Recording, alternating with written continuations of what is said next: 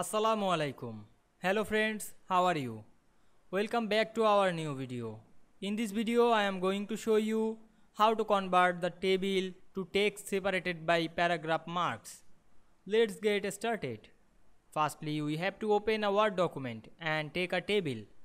Then we click the table and go to the design menu. Then select the whole table.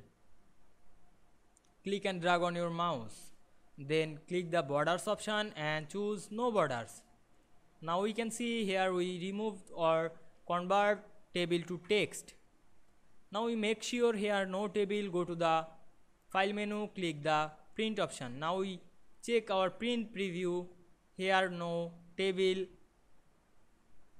we come back the page I hope you enjoyed the video. Please like, comment, share and subscribe my YouTube channel.